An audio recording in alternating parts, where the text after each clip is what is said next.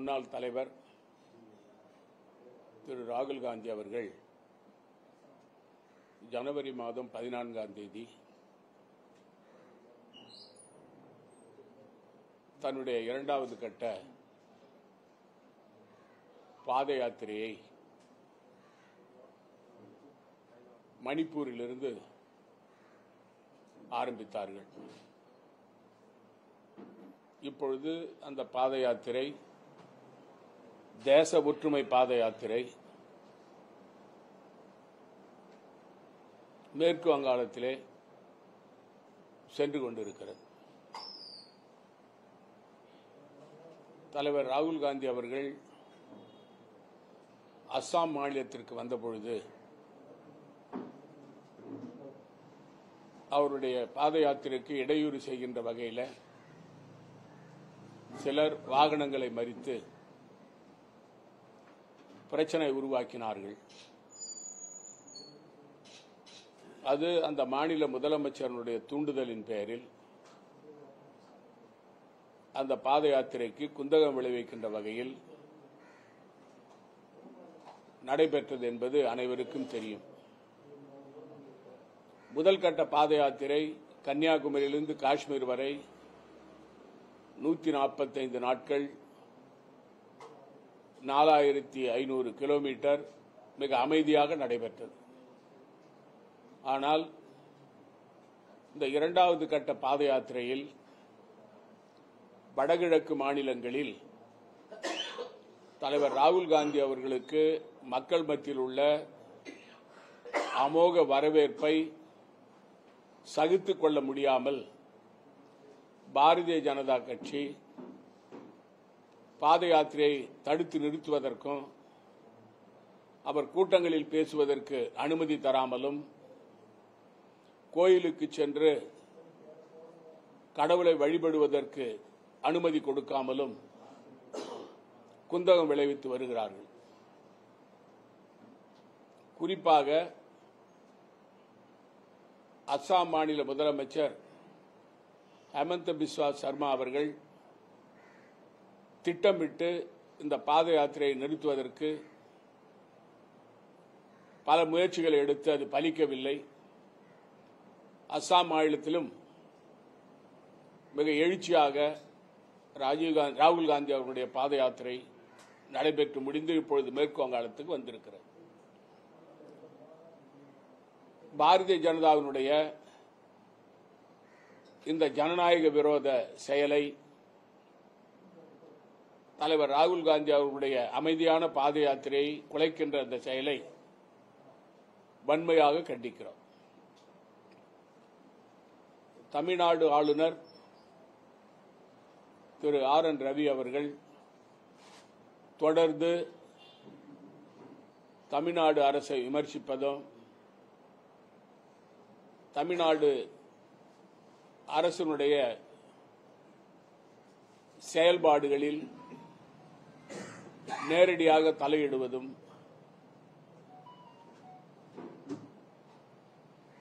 குறிப்பாக சட்டமன்றத்தில் நிறைவேற்றப்பட்ட சட்டங்களுக்கு ஒப்புதல் அளிக்காமல் காலதாமதம் செய்வதும் மக்கள் நலத்திட்டங்களை மாண்புமிகு தமிழக தமிழ்நாடு முதலமைச்சர் ஸ்டாலின் அவர்கள் அறிவித்து அதை நடைமுறைப்படுத்தும் பொழுது அதற்கு ஒப்புதல் அளிக்காமல் காலதாமதம் செய்வதும் ஆன வேலையை தொடர்ந்து செய்து வருகிறார். இது சம்பந்தமாக திராவிட முன்னேற்ற கழக பாராளுமன்ற உறுப்பினர்கள் பிரதமரை சந்தித்து பேசியும் உள்துறை அமைச்சர் அமித்ஷா அவர்களிடம் சென்று சொல்லியும் எந்தவித மாற்றமும் திரு ஆர் என் ரவி அவர்களுடைய செயல்பாடுகளில் ஏற்படவில்லை. ஆகவேதான் தமிழ்நாடு முதலமைச்சர் அவர்கள் உச்சநீதிமன்றம் சென்று கிடப்பில் இருக்கின்ற பதிமூன்று சட்டங்களை சட்டமன்றத்தால் நிறைவேற்றப்பட்ட சட்டங்களை உடனடியாக ஆளுநர் ஒப்புதல் அளிக்க வேண்டும் என்று சொன்ன பிறகு உச்சநீதிமன்றம் ஆளுநர் ரவி அவர்களுக்கு கண்டனம் தெரிவித்து அதற்கு பிறகு அவர் சில சட்டங்களுக்கு ஒப்புதல் அளித்திருக்கிறார். இன்னும் முழு- முழுமையாக அனைத்து சட்டங்களுக்கும் அவர் ஒப்புதல் அளிக்கவில்லை. இது சம்பந்தமாக வழக்கு நிலுவையில் உள்ளது. இப்பொழுது ஒரு புதிய சர்ச்சையை தமிழ்நாடு ஆளுநர் அவர்கள் ஆரம்பித்திருக்கிறார். அண்ணல் காந்தியடிகளால் இந்தியா சுதந்திரம் பெறவில்லை. நேதாஜி சு- சுபாஷ் சந்திர போஸ் அவருடைய போராட்டமும் இந்திய ராணுவத்துடைய கிளர்ச்சியும் தான் அதற்கு காரணம் என்று இந்திய சரித்திரத்தை மறைத்து திரித்து இந்த நாட்டு மக்கள் மத்தியிலே ஒரு தவறான தகவலை பேசியிருக்கிறார். ஆர் என் ரவி அவர்கள் உண்மையிலேயே சுயநினைவோடு இருக்கிறாரா? அல்லது அவர் உண்மையிலே இந்திய சரித்திரத்தை படிக்கவில்லையா? என்பது விந்தையாக இருக்கிறது. இந்த உலகமே உலகத்தில் உள்ள அனைத்து நாட்டு மக்களும் இந்தியா சுதந்திரம் பெறுவதற்கு அண்ணல் காந்தியடிகளுடைய அறப்போராட்டம் அதன் விளைவு ஆங்கிலேயர்கள் இந்தியாவை விட்டு வெளியேறினார்கள். இந்த போராட்டத்தினுடைய சக்தியை உலகமே பாராட்டுகிறது. அண்ணல் காந்தியடிகளுடைய சுதந்திர போராட்டத்தை உலகமே பாராட்டுகிறது. ஆனால் தமிழ்நாடு ஆளுநராக இருக்கின்ற ஆர் என் ரவி அவர்கள் அவர் மனநலம் பாதித்திருக்கிறாரா இல்லையா என்று தெரியவில்லை. அவர் ஒரு தவறான தகவலை உண்மைக்கு புறம்பான தகவலை சொல்லி சரித்திரத்தை மாற்றி எழுத பார்க்கிறார். அவருடைய இந்த கூற்று அண்ணல் காந்தியடிகளால் இந்தியா சுதந்திரம் பெறவில்லை என்ற கூற்று அவர் ஒரு படித்தவரா பண்பாளரா உண்மையிலேயே அவர் சுயநினைவோடு பேசுகிறாரா என்ற கேள்வி மக்கள் மத்தியிலே ஏற்பட்டிருக்கிறது. நேதாஜி அவர்கள் நாம் போராடி பெற வேண்டும் என்று துப்பாக்கி ஏந்து போராட வேண்டும் என்று கூறினார்கள். ஆனால் அண்ணல் காந்தியடிகளின் தலைமையிலே மற்ற காங்கிரஸ் தலைவர்கள் எல்லாம் அண்ணல் காந்தியடிகளுடைய அறப்போராட்டத்தின் மூலமாக நாம் சுதந்திரம் பெற வேண்டும் என்று சுதந்திரத்தை காந்தியடிகள் தலைமையிலே நாம் பெற்றோம். அதை கொச்சப்படுத்துகின்ற வகையில் திரு ஆர் என் ரவி அவர்கள் பேசியிருக்கின்ற கருத்து வன்மையாக கண்டிக்கத்தக்கது. புதுச்சேரி மாநிலத்தில் தொடர்ந்து இரண்டு மாதங்களாக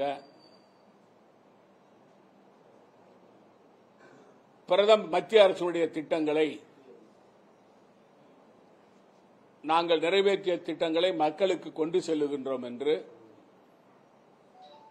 ஒரு போட்டி நிகழ்ச்சிகளை மாண்புமிகு துணைநிலை ஆளுநர் பொறுப்பு டாக்டர் தமிழிசை சவுந்தரராஜன் அவர்கள் நடத்தி கொண்டிருக்கிறார்கள். மத்திய அரசாங்கத்துடைய திட்டங்களை மக்களுக்கு தெரிவிக்க வேண்டும் என்று அதிகாரிகளை பயன்படுத்தி புதுச்சேரி மாநில அரசு அதிகாரிகளை பயன்படுத்தி அவர்கள் மூலமாக பாரதிய ஜனதாவுக்கு விளம்பரம் தேடுவதற்காக டாக்டர் தமிழிசை சவுந்தரராஜன் அவர்கள் விழாக்களை நடத்தி கொண்டிருக்கிறார். அந்த விழாக்களில் முதலமைச்சர் இல்லை அமைச்சர்கள் இல்லை சட்டமன்ற உறுப்பினர்கள் கூட இல்லை. இது ஏதோ போட்டி அரசாங்கம் நடப்பது போல் தெரிகிறது. ஒருபுறம் முதலமைச்சர் ரங்கசாமியின் ஆட்சி இன்னொரு புறம் துணைநிலை ஆளுநர் பொறுப்பு டாக்டர் த- தமிழிசை சவுந்தரராஜன் ஆட்சி போல இருக்கிறது. டாக்டர் தமிழிசை சவுந்தரராஜன் அவர்கள் சொல்கிறார் மத்திய அரசு திட்டங்கள் எந்த திட்டம் நிறைவேற்றாமல் தடு நிறுத்தப்பட்டிருக்கிறது. அதை எதிர்க்கட்சிகள் சொல்லட்டும் என்று கூறுகிறார். அவருக்கு நான் சவால் விடுகிறேன். புதுச்சேரி மாநிலத்தில் பிரதமர் காப்பீட்டு திட்டம். ஆயுஷ்மான் பாரத் திட்டத்தில் கொடுக்கப்பட்ட அடையாள அட்டையை சென்னையில் உள்ள அப்போலோ மருத்துவமனைக்கு சென்று அந்த அட்டையினுடைய உரிமையாளர்கள் மருத்துவம் பெற முடியுமா? அல்லது மியோட்டு மருத்துவமனைக்கு செல்ல சென்றால் அவர்கள் ஏற்றுக்கொள்கிறார்களா? ஜிப்மர் நிர்வாகம் கூட அதை ஏற்றுக்கொள்வதில்லை.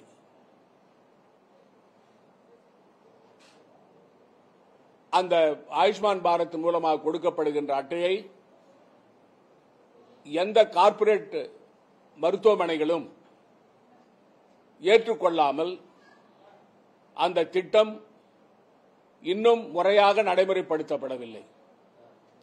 புதுச்சேரி மாநிலத்தில் உள்ள மூன்று லட்சத்தி ஐம்பத்தி ஏழாயிரம் குடும்பங்களுக்கு அந்த திட்டத்தினுடைய அட்டைகள் மக்களுக்கு கொடுக்கப்பட வேண்டும். அடையாள அட்டைகள்.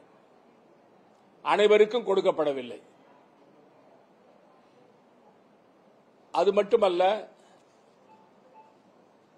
குறிப்பாக பிரதமர் வீடு கட்டும் திட்டத்தின் மூலமாக பிரதான் மந்திரி ஆவாஸ் யோஜனா திட்டத்தில் புதுச்சேரி மாநிலத்தில் இதுவரை எத்தனை வீடுகள் நீங்கள் கட்டியிருக்கிறீர்கள்? உங்க ஆட்சியில். இந்த மூன்றாண்டு ஆள கால ஆட்சியில். நீங்கள் முன்னூறு வீடுகள் கூட கட்டவில்லை. ஆனால் பறைசாற்றிக் கொள்ளுகிறீர்கள். பிரதம மந்திரி வீடு கட்டும் திட்டத்தில் நாங்கள் புதுச்சேரி மாநில மக்களுக்கு வீடுகளை கொடுத்திருக்கிறோம் என்று விளம்பரம் செய்கிறீர்கள். அது மட்டுமல்ல துணைநிலை பொறுப்பு ஆளுநர் பொறுப்பு அவர்கள் அந்த திட்டத்திற்கு சென்று அங்கே தாய்மார்களுக்கு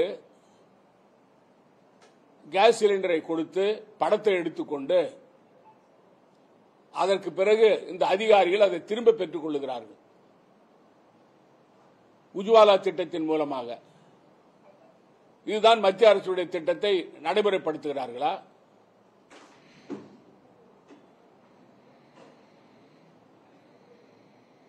அதே போல இன்னும் பல திட்டங்கள் மக்களுக்கு சென்றடையவில்லை. ஒன்றையுமே செய்யாமல் முறையாக செய்யாமல் விளம்பரம் தேடுவதற்காக பாராளுமன்ற தேர்தல் வருகிறது என்பதற்காக அரசனுடைய பணத்தை கோடிக்கணக்கில் செலவு செய்து விளம்பரத்திற்காக துணைநிலை ஆளுநர் பொறுப்பு டாக்டர் தமிழிசை சவுந்தரராஜன் அவர்கள். புதுச்சேரி மாநிலத்தில் பல பகுதிகளுக்கு சென்று பாரதிய ஜனதாவுக்கு வாக்கு சேகரிப்பதற்காக இந்த இந்த விழாக்களை நடத்தி வருகிறார். இது புதுச்சேரி மாநில மக்கள் அனைவருக்கும் தெரியும். இந்த அதிகாரிகள் இது போன்ற விழாக்களை நடத்துவதற்கு வற்புறுத்தப்படுகிறார்கள். இதுதான் நிதர்சனமான உண்மை. ஆகவே அம்மையார் அவர்கள் தயவு செய்து எந்த திட்டத்தை நிறைவேற்றவில்லை மத்திய அரசுடைய திட்டத்தை என்று தயவு செய்து கூற வேண்டாம். ஏனென்றால் இந்த ஸ்மார்ட் சிட்டி திட்டம் பொலிவுறு நகர திட்டம் கடந்த ஓராண்டாக கிடப்பிலே கிடக்கிறது. அதுவும் மத்திய அரசாங்கத்துடைய திட்டம் தான் மத்திய அரசாங்கத்தின் நிதி வருது அதுக்கு. அதனால தயவு செய்து வாய்ஜாலத்தால் மட்டும் மக்களை ஏமாற்ற முடியாது இந்த டாக்டர் தமிழிசை சவுந்தரராஜன் அவர்கள். புதுச்சேரி மாநில முதலமைச்சர் ரங்கசாமி அவர்கள் சொல்லுகிறார் நான் மக்களுக்கு கொடுத்த வாக்குறுதிகளை செய்து முடித்துவிட்ட நிறைவு எனக்கு இருக்கிறது என்று கூறுகிறார். அவர் எந்த அளவிற்கு முதலமைச்சர் ரங்கசாமி அவர்கள் அப்பட்டமான பொய்யை மக்கள் மத்தியிலே சொல்லு செய்கிற சொல்லுகிறார் என்பது தெளிவாக தெரிகிறது. எந்த திட்டத்தை இவர்கள் நிறைவேற்றினார்கள்? முதலமைச்சர் ரங்கசாமி அவர்கள் மக்களுக்கு கொடுத்த வாக்குறுதி முதல் வாக்குறுதி மாநில அந்தஸ்து. நாங்கள் ஆட்சிக்கு வந்த ஓராண்டு ஓராண்டில் மாநில அந்தஸ்து பெறுவோம். இரண்டாவது வாக்குறுதி புதுச்சேரி மாநிலத்திற்கு சிறப்பு நிதி இரண்டாயிரம் கோடி ரூபாய் மத்திய அரசிடமிருந்து பெறுவோம். மூன்றாவது வாக்குறுதி மத்திய நிதி கமிஷனில் பல மாநிலங்களைப் போல புதுச்சேரியை சேர்ப்பதற்கு நடவடிக்கை எடுப்போம். நான்காவது வாக்குறுதி மத்திய அரசு மாநில அரசு பெற்ற எட்டாயிரம் கோடி கடனை ரத்து செய்வோம்.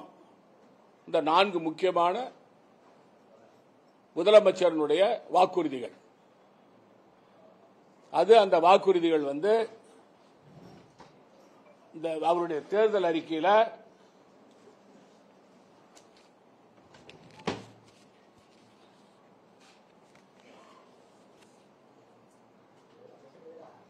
ஒன்ன மட்டும் படிக்கிறேன். புது புதுச்சேரியின் நிதி சிக்கல்களுக்கு நிரந்தர தீர்வு காணவும் மக்கள் பிரதிநிதிகளின் மாட்சியும் மக்களாட்சி மாண்புகளும் நிலைநிறுத்தப் பெறவும் ஆட்சியாளர்களுக்கு அதிகார வர்க்கத்தின் தடையற்ற ஒத்துழைப்பை உறுதி செய்திடவும் மாநில அந்தஸ்து பெறுவதே சரியான தீர்வு என்று அகில இந்திய என்ஆர் காங்கிரஸ் மனமாறு நம்புகிறது.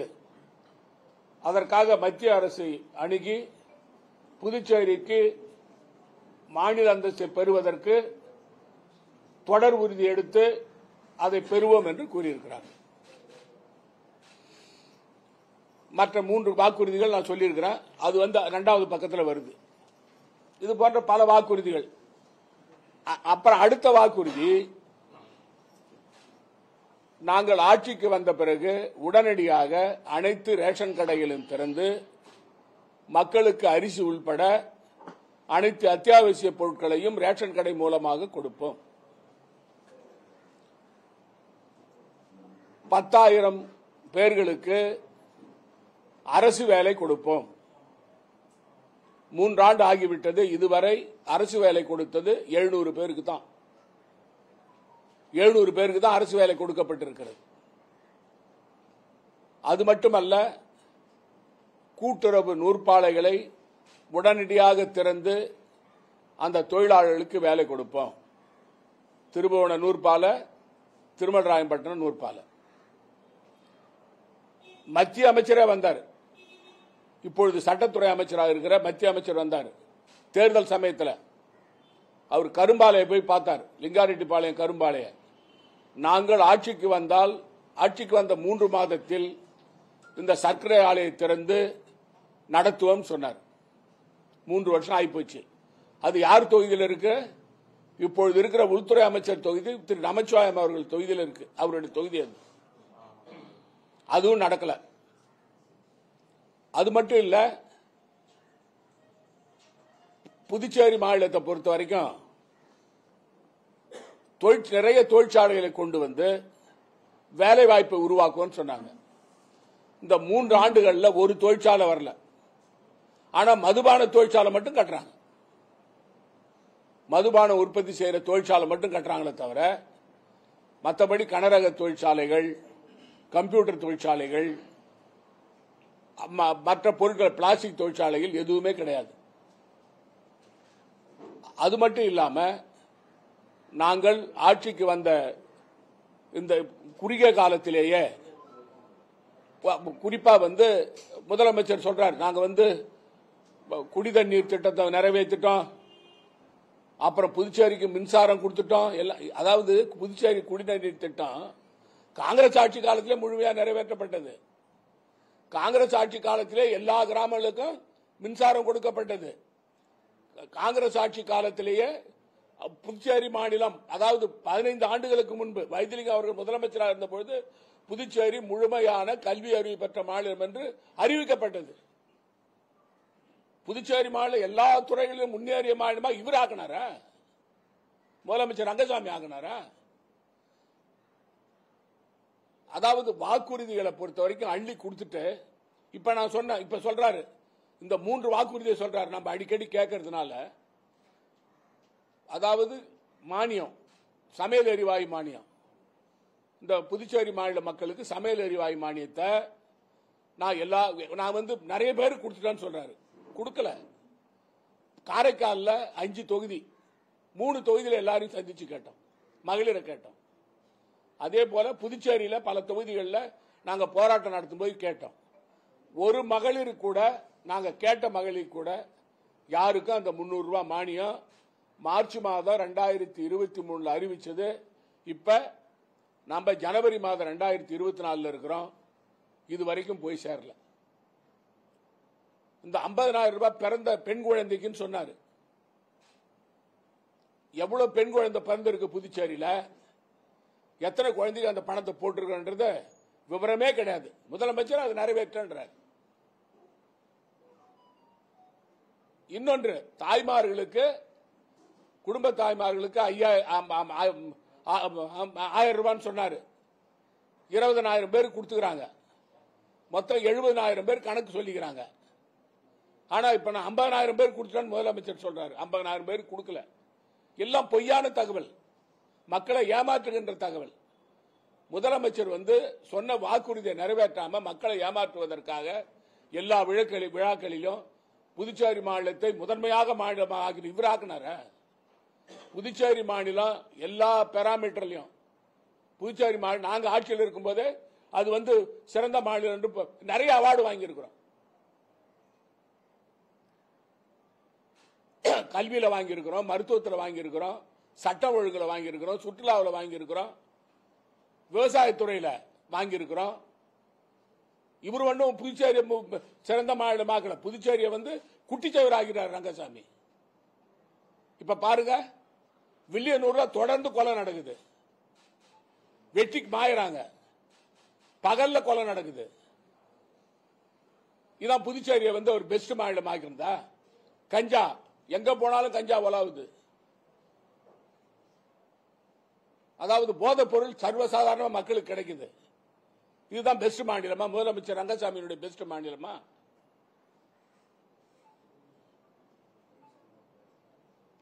அதாவது மக்களுக்கு கொடுத்த வாக்குறுதியை நிறைவேற்றாம வாய்ஜாலத்தில் பேசுறதோட சரி. இப்ப இந்த லேப்டாப் சம்பந்தமா நம்ம சொன்னோம். குற்றச்சாட்டு சொன்னோம். ஏசர் கம்பெனில இருந்து வாங்குறீங்க. நான் சொல்லி எவ்வளவு நாள் ஆகுது? ஒரு மாசம் ஆகுது. அறுபத்தி மூணு கோடி ரூபாய்க்கு வாங்குறீங்க. அதுல இருபத்தி ஏழு கோடி ரூபாய் லஞ்சம் வாங்குறீங்க. அப்படின்னு சொல்லி பகிரங்கமா நான் குற்றச்சாட்டு சொன்னேன். அது நீங்க ஜெம் போர்ட்டில் போட்டு வாங்குறீங்க. ஜெம் போர்ட்டில் போட்டு வாங்குறது உங்களுக்கு அதிகாரம் கிடையாது. அதுல ரெண்டு கம்பெனி வந்தாங்க. குறிப்பாக ஹெச்பி கம்பெனி வந்தாங்க. இவங்க ஏசர் வந்தாங்க. ஹெச்பி கம்பெனி கிட்ட லஞ்சம் கேட்டாங்க. கமிஷனு அவர் ஒரு சதவீதம் தான் கொடுப்பேன்னு சொன்னாங்க அவங்க. அதனால அதை விட்டுட்டு பத்து சதவீதம் கமிஷன் கொடுக்குற ஏசர் கம்பெனி கிட்ட இதை கொடுத்தாங்க. கொடுக்கறதுக்கு நடவடிக்கை எடுத்தாங்க. அப்பொழுது தலைமைச் செயலாளர் இதுக்கு ஏன் நீங்க வந்து குளோபல் டெண்டர் விடக்கூடாது? அப்படின்னு சொல்லி கவர்னர் ஒப்புதல் கொடுத்த பிறகு கூட அது கவர்னர் அதுக்கு உடந்த கவர்னர் ஒப்புதல் கொடுத்த பிறகு கூட அந்த கோப்பை திருப்பி அனுப்பினார். திருப்பி அனுப்பின பிறகு அந்த கோப்பு எப்படி ஒப்புதல் தரப்பட்டது? யார் அதுக்கு ஒப்புதல் கொடுத்தாங்க? அதுக்கு பிறகு. ஏன் குளோபல் டெண்டர் போடல? இது மிகப்பெரிய ஊழல் இமாலய ஊழல். அதாவது பல துறைகளில் ஊழல். இது வந்து இது வந்து பகிரங்கமான ஊழல். பிள்ளைகளுக்கு லேப்டாப் கொடுக்கறது எங்க ஆட்சி காலத்து நடவடிக்கை எடுத்தோம் கிரண் பேடி தடுத்து நிறுத்திச்சு அதை. இப்ப இந்த இந்த இந்த லேப்டாப் வாங்குறது சம்பந்தமா சிபிஐ விசாரணை வைக்க வேண்டும் என்று இந்திய குடியரசுத் தலைவரை நாங்கள் வற்புறுத்துவோம். இது பகிரங்கமான ஊழல். அறுபத்தி மூணு கோடி ரூபாய்க்கு வாங்குற கம்ப்யூட்டர் வாங்குறது இருபத்தி ஏழு கோடி ரூபாய் லஞ்சம்ன்றது புதுச்சேரி மாநிலத்துடைய கஜானாவை சுரண்டுகின்ற வேலை. அது- அது எட்டு ரேம்ப் தான் இருக்குது. பிள்ளைகளுக்கு கொடுக்கறது. பிள்ளைகள் வந்து பெரிய அளவில் வந்து அது படிச்சு அது மேல மேல் படிப்பு போகும்போது அதை பயன்படுத்தினா முடியாது. கல்லூரி பள்ளி பள்ளிக்கூடத்தோட முடிஞ்சிடும் அந்த அதனுடைய கெப்பாசிட்டி அவ்வளோதான் ஒரு ந- நல்ல கம்ப்யூட்டர்லாம் இருக்கு. லீனோவா இருக்கு ஹெச்பி இருக்குது நிறைய நிறைய விப்ரோ இருக்கு நிறைய கம்ப்யூட்டர் இருக்கு. தரமான கம்ப்யூட்டர் ஏன் கொடுக்கல நீங்க பிள்ளைங்களுக்கு? ஏன்னா லஞ்சம் கொடுக்குறாங்க அதனால அங்க கொடுக்குறீங்க. கையூட்டு பெற்றுக்கொண்டு இந்த லேப்டாப்புகள் வாங்கப்பட்டிருக்கிறது.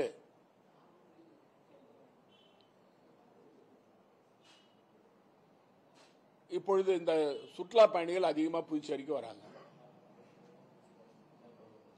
நிறைய இந்த கடல்ல குளிக்கிற பிள்ளைங்க அதிகமா இருக்கு புதுச்சேரியில். கல்லூரி பிள்ளைகள் பள்ளி பிள்ளைகள் புதுச்சேரி மாநிலத்தை சேர்ந்த பிள்ளைகளும் கடல்ல போய் குளிக்கிறாங்க. லைஃப் கார்டு வச்சு அதை கண்காணிக்கிற நடவடிக்கை இந்த அரசாங்கம் எடுக்கல. இதனால தொடர்ந்து கடல்ல வந்து அடிச்சு செல்லப்பட்டு இறந்த பிள்ளைகள் பெரிய அளவில் இருக்கிறாங்க புதுச்சேரியில். இந்த கடந்த இந்த ஒரு மாசத்துல ஒரு மாசத்துக்குள்ள சுமார் பத்து பிள்ளைங்களுக்கு மேல இறந்துருக்கிறாங்க. பத்து பேருக்கு மேலே இறந்துக்கிறாங்க. எல்லாம் பள்ளிக்கூடம் கல்லூரி மாணவர்கள் தான். புதுச்சேரி சேர்ந்த பிள்ளைகளும் அதில் இருக்கிறாங்க. நீங்க போய் பாருங்க கோவாவில். கோவாவில் வந்து கோவாவினுடைய வருமானமே இந்த கடல் தான். கடலில் வந்து சுற்றுலா சுற்றுலா தான். ஆனால் அங்கே லைஃப் கார்டு வச்சு மிக சிறப்பான முறையில் கண்காணித்து எந்தவித உயிர் சேதமும் இல்லாமல் அங்கே பாதுகாக்கிறாங்க மக்களை பாதுகாக்கிறாங்க. சுற்றுலா பயணிகளாக இருந்தாலும் சரி உள்ளூர் மக்களாக இருந்தாலும் சரி. ஏன் புதுச்சேரி மாநிலத்தில் உங்களால் செய்ய முடியல? கட- கடல் கடல் கடலோரத்தில் நீங்க வந்து ஒரு எல்லையை குறிப்பிட்டு அந்த எல்லைக்கு அண்ணாண்டா மக்கள் போகக்கூடாது. ரெண்டாவது நீங்க அதுக்கு தேவையான உபகரணங்களை வச்சு அவங்களை கா- காப்பாத்துறதுக்கான தேவையான உங்ககிட்ட என்ன என்ன போட் இருக்குது? ஸ்பீட் போட் எங்க இருக்குது உங்ககிட்ட? எந்தவித உபகரணமும் உங்ககிட்ட கிடையாது. ஆனா பிள்ளைகளுடைய உயிர் தான் போகுது. இதுக்கு எந்த நடவடிக்கையும் நீங்க எடுக்கலை. குறிப்பா இந்த இந்த ஒட்டுமொத்தமா இந்த ஆட்சி ஸ்தம்பித்து போயிருக்கு. துணைநிலை ஆளுநர் இந்த மாநிலத்துடைய வளர்ச்சிக்கு ஏதாவது பயன்படுறாங்கன்னா அதுவும் கிடையாது.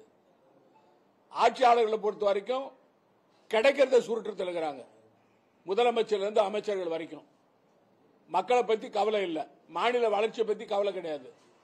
ஆனா வளர்ந்து போச்சு புதுச்சேரி மாநில ரங்கசாமி வந்து மிகப்பெரிய அளவில் விளம்பரம் தேடுகிறாரு புதுச்சேரி மாநில வளர்ச்சியை பத்தி அ- அவருக்கும் தெரியும் எங்களுக்கும் தெரியும். அவர் காங்கிரஸ் கட்சியில் முதலமைச்சராக இருக்கும்போது என்ன வளர்ச்சி? அதுக்கு பிறகு அவர் போயிட்ட பிறகு காங்கிரஸ் கட்சி என்ன வளர்ச்சின்னு மக்களுக்கு தெரியும். இப்ப இந்த இந்த மூன்று வருட காலத்தில் புதுச்சேரி மாநிலத்துடைய வளர்ச்சி குறைஞ்சு போயிருக்கு. கொரோனா காலத்தில் கூட புதுச்சேரி மாநிலத்துடைய பொருளாதாரத்தை சிறப்பாக நாங்கள் கையாண்டோம். ஆனா இப்பொழுது மத்தியில் உங்க ஆட்சி மாநிலத்தில் உங்க கூட்டாட்சி ம- வந்து பாஜக ஆட்சி இங்க கூட்டாட்சி. ஏன் உங்களால மக்களுக்கான திட்டங்களை நிறைவேற்ற முடியல வேகமா? முதலமைச்சர் கேட்டால் அதிகாரி ஒத்துழைக்கல் என்றாரு. பணம் இல்லைன்றாரு. குறிப்பா முதியோர் உதவித்தொகை விதவைகள் உதவித்தொகைய ஒவ்வொரு மாதமும் ஒன்பதாம் தேதி மக்களுக்கு அவங்க வங்கி கணக்கில் போய் சேர்ந்துடும் எங்க ஆட்சியில். நாலு வருஷம் பத்து மாசத்துல. அரிசிக்கான பணம். அரிசிக்கான பணத்தை கிரண்பேடி தொ- தொல்லை கொடுத்ததுனால அரிசியா போடுறது நிறுத்தி பணம் போட்டோம்.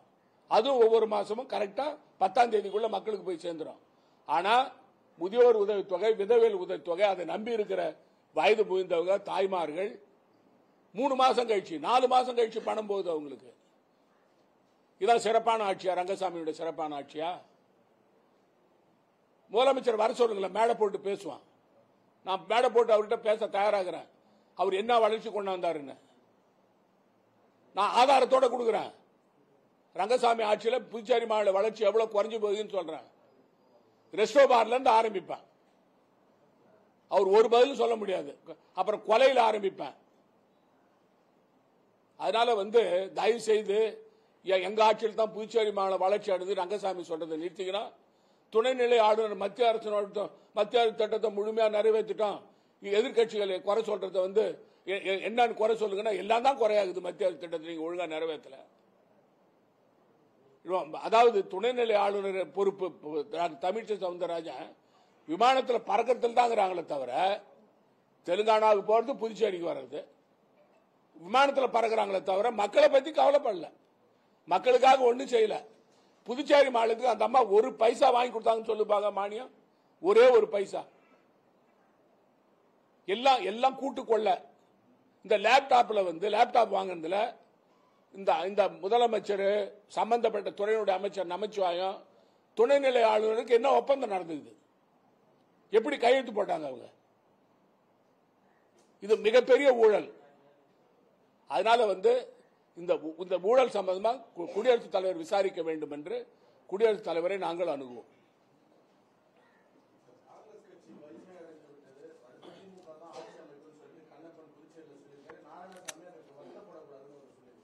அதாவதுங்க ஒவ்வொரு அரசியல் கட்சிக்கும் தங்களுடைய கட்சி பலமா இருக்குதுன்னு தான் சொல்லுவாங்க. எங்க கட்சி பலவீனமாகுதுன்னு சொல்ல மாட்டாங்க.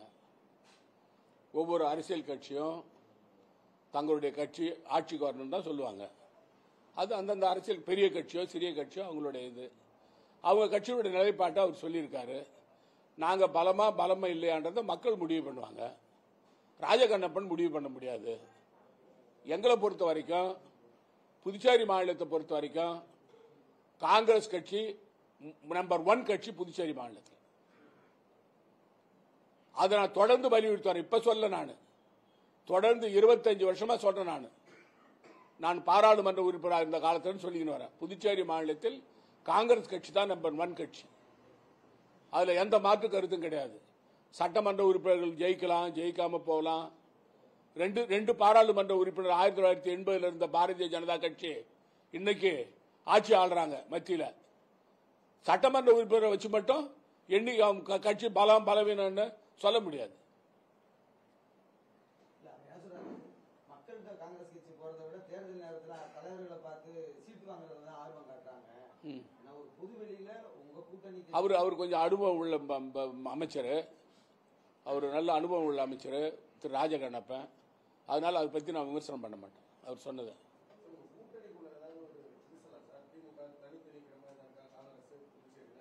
யாரு? யார் கேட்குறாங்கன்னு தெரியல எனக்கு.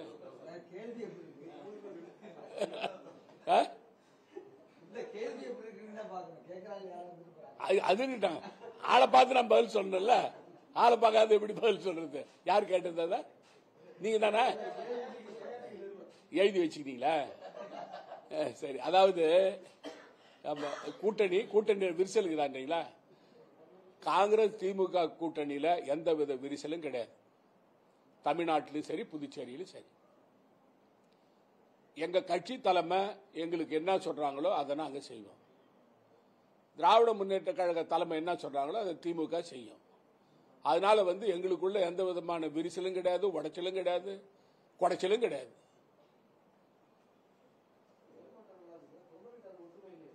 ஆ? யாரு? தொண்டருக்குள்ள? ஏன் சார்? அவங்க அவங்க கட்சி பணி அவங்க அவங்க செய்யறாங்க என்னையா? சரி என்ன விமர்சிச்சாலும் சரி என் கட்சி விமர்சிச்சாலும் சரி அதை வரவேற்பேன் நான். அதாவது உங்களுக்கு என்ன சொல்றாரு? கல்யாண சுந்தரம் மரியாதை மாண்புமிகு சட்டமன்ற உறுப்பினர் கல்யாண சுந்தரம் பாஜக சட்டமன்ற உறுப்பினர். பாஜக தனித்து ஆட்சி அமைக்கணும்னு சொல்றாரு. அதுல விரிசல் இல்லையா? எங்களை கேள்வி கேக்குறீங்களா? யாரு? ரங்கசாமி திட்டலையா அவரு கல்யாண சுந்தரம்? என்ஆர் காங்கிரஸ் திட்டலையா அவரு? ரங்கசாமி என்ஆர் காங்கிரஸ் வந்து ரங்கசாமி வந்து எங்களை புறக்கணிக்கிறாரு பாஜகவை. அதனால பாஜக தனித்து ஆட்சி அமைக்கணும்னு சொல்லி அவரு. அது அது திட்டுறது இல்லையா?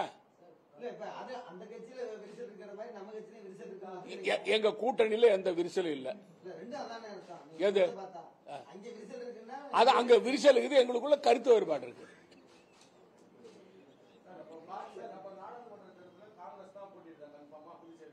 அதாவது நாங்க வந்து எங்க கட்சிக்கு கேக்குறோம். எங்கள் கட்சி பாராளுமன்ற உறுப்பினர் தான் இங்கே இருக்கிறாரு புதுச்சேரியில் இருக்காரு. அதனால அது கேட்க வேண்டிய உரிமை எங்களுக்கு இருக்கு. ஆனால் எங்கள் கட்சி தலைமையும் திராவிட முன்னேற்ற கழக தலைமையும் என்ன முடிவு பண்ணுறாங்களோ அதை நாங்கள் ஏற்றுக்கிறோம்